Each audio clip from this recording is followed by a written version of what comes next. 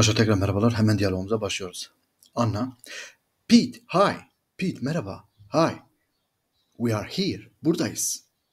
Hi Anna. Hi Marsha. Merhaba Anna. Merhaba Marsha. Hi. How are you too? İkiniz nasılsınız? I'm great.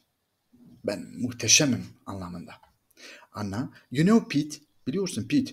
I'm new to DC. Yani ben DC Washington'a, Washington'da yeniyim. The city is big. Şehir büyüktür. Yani şehir oldukça büyük anlamında.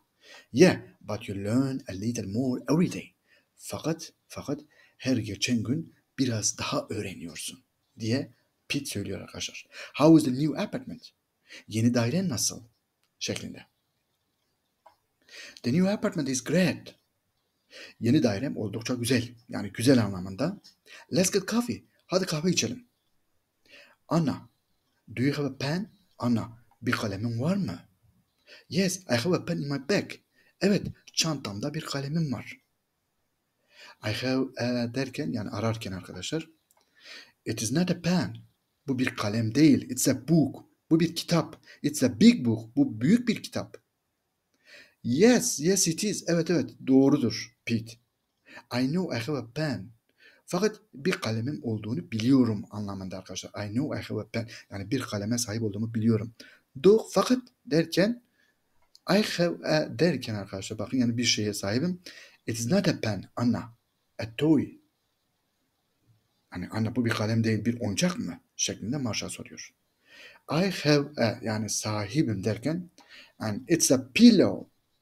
Bu bir yastık. Pete, Marsha, I know I have a pen. Pete, Marsha, bir kalemim olduğunu biliyorum.